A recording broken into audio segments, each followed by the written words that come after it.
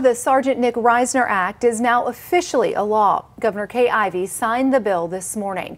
WAAY 31's Alex Torres Perez joins us live from Sheffield Police Department this afternoon. Alex, you spoke with Risner's brother in blue about this momentous occasion. Yeah, it was a bittersweet moment for the Sheffield Police Department. You can actually still tell there are blue ribbons tied on the light posts inside. And when you actually walk into the lobby, you can really tell the love this department had for Sergeant Nick Risner. Photos of him hang on the wall and plaques are on display honoring him for making the ultimate sacrifice. Now, I spoke with one of Risner's co-workers, Lieutenant Matt Dotson, who was actually injured during the incident back in October.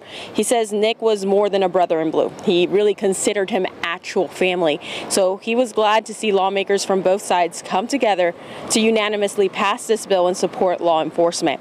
He says no one should ever have to go through the loss and grief the Risner family and the Sheffield Police Department are feeling. And he explains that laws need to be strict enough to make criminals think twice before pulling a weapon and running, ruining other people's lives. So when I asked him if he thinks this new law does that, this is what he had to say. I hope so. Um,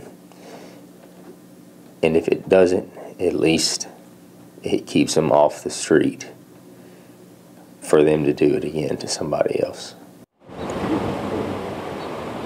Now, Dotson says the new law makes it seem as though Nick is still working and keeping the community he loved safe. Now, Governor Kay Ivey is holding a ceremonial signing of this bill at a later time. It's still unclear when that will happen, but the Risner family and Lieutenant Matt Dotson both say that they'll be there.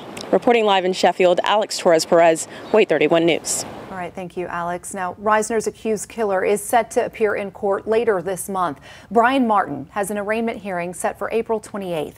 He's accused of killing Nick Risner and another man, William Muehlbach Jr., back in October. Martin pleaded guilty to killing his father in 2016.